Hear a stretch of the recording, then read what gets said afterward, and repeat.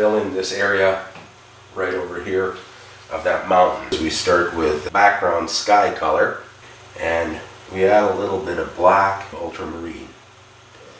Dab that down a few times like this until it's slightly marbled. Now we've got a bit of a marbled effect here. Let's give that a try in the center. Yeah, that looks like it might be close. So we just make short strokes cover up the lines of our sketch. If we do this right, it's one pass. Mixing. And just scratch away. Now we'll work on the mountain that's even closer. And since it's closer, we can add a little bit more raw umber to it. These are not necessarily finished colors. We can go in afterwards and dial the colors in a little bit and it'll be really exciting if you're easily excited. If not, well, we have to feel sorry for you. You'll notice I have significant lumps of the lightest blue and a slightly darker blue from the sky on my palette. We need to bring those into the lower portions of the painting to maintain continuity of color. Now we'll start by blocking in the colors into this portion of the water here. We'll start with blue that's a little bit darker because whenever light hits the water, the water tends to absorb quite a bit of it. So as we work more over to the right, we're getting reflections of the dark mountain that we painted in just a little earlier. It's interesting to notice that there's quite a bit of marbling that goes on if you don't mix your paint very smoothly. That's one of the strengths of using palette knives. We don't put on an awful lot of paint at one time, but if we mix the colors right, we may not have to ever touch any of these portions again. You may notice me looking off to my left at times here, that's where my reference material is. I keep it on a Samsung Galaxy tablet. And the reason I use that for reference material rather because it gives me far superior color reproduction to anything that I can hope to print. We always allow a little bit of marbling to take place with palette knives. It just makes the work generally more interesting. One of the most common problems I see with my students is that they tend to over mix their colors before they apply them. They tend to mix them until they're completely homogeneous. Of course, then you lose all the benefits of painting with a palette knife. We'll continue by blocking in the yellow bottle. What we've got here on our palette is cadmium yellow, yellow mixed with white, yellow ochre mixed with blue quin gold warm up to warm it up after it's blue so that you get kind of a shadow to yellow cap. From past experience I know that after I'm done I'll have to go through and adjust all of these colors. That's okay, that's expected, I expect that, so that's fine. Uh, looks like I'm going to have to adjust them darker later on. Oh well, I'm an artist, and that's part of my job, so that's what I always have to do. We will start with yellow tint as influenced by the blue in the background. Interesting things happen with distortions when you're looking at anything through a wine glass. Of course the distortion is the most intense at the edges of the glass. So whenever you're painting wine, that's one of the things that you have to factor into all of your that wine doesn't look very transparent. The reason for that is because whenever you look through wine or any liquid, you see things through it and you see things reflected by it as well. So as soon as we add some of those details, so that the wine will begin to look transparent. It's got a very slight curve on the side. I've only ever seen one of these, and I found it at Michael's, which is an art store in Canada. So I'm going to use that edge, just work away from the edges of the glass. One of the things that defines glass is that it has hard edge. The enemy of all artists, except for me.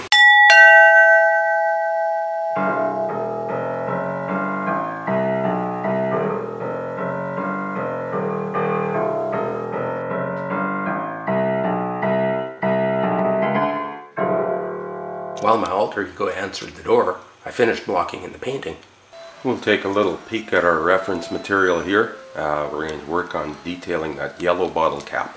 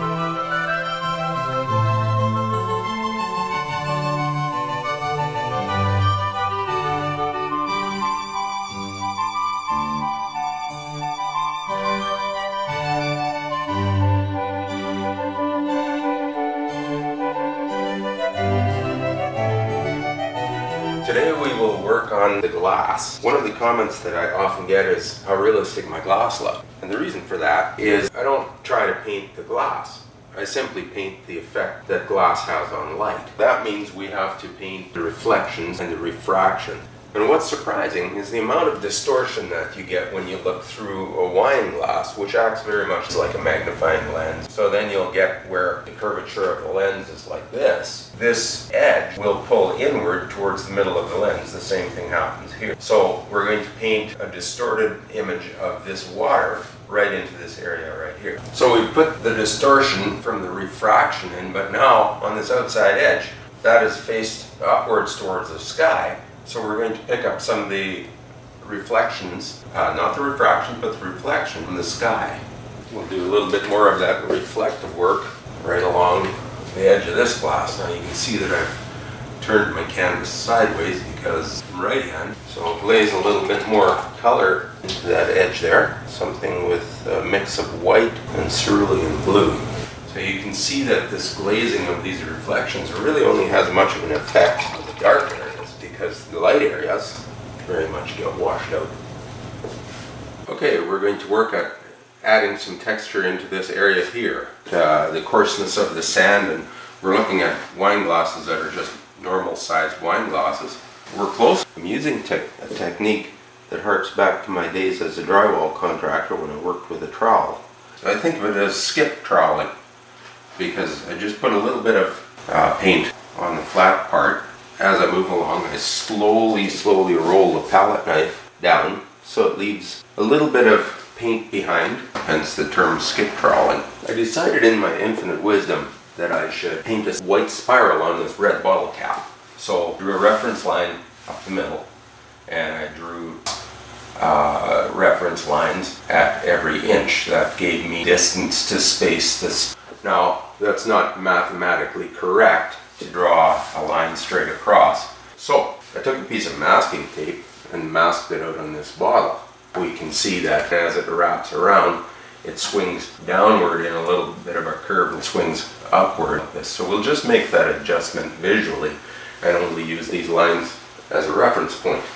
As a matter of interest, this winery asked whether to use some of my art on their bottle labels. This was what they called the Jazz Series, and a number of images like that. Big excitement for me in those days, whatever that means. I've mixed a narrow range of white through medium gray to accomplish this task.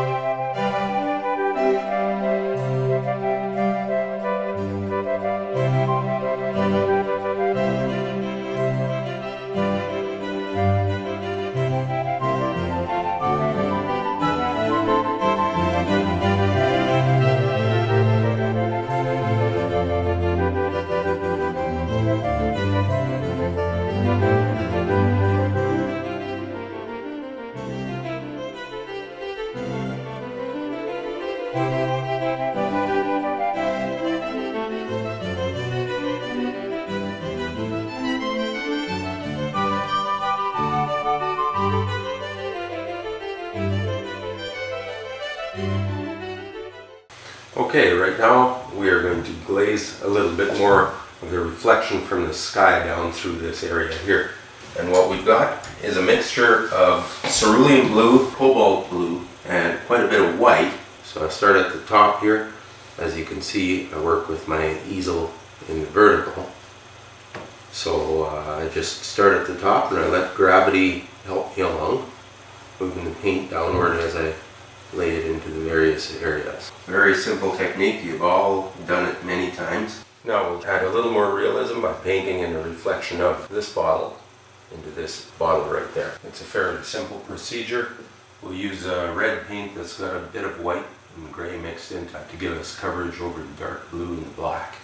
As you can see, the sketch that I've made is done with chalk. And after the paint is dry, we just take uh, any kind of a dry rag and wipe it off.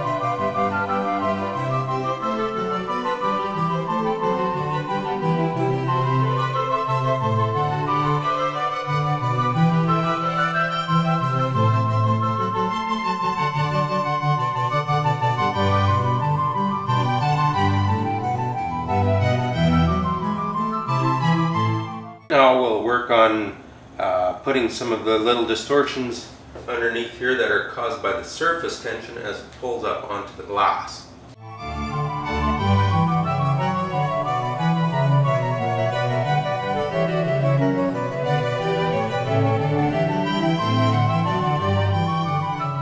You'll see that right here I've put in a light flare that's formed by sunshine coming through and being refracted out towards the lens. At this point I'm going to intensify some of the colors that are formed on the bottom of the lake here by light coming through from probably catching through this upturned part of the water where the surface tension changes the angle and the curvature of the surface of the water. So the light gets refracted down through there and thrown onto the surface of the sand right down there. So I'm going to, now we're going to work on detailing the reflection of that bottle cap right there. Obviously it's far from complete because it doesn't uh, reflect the colors very accurately.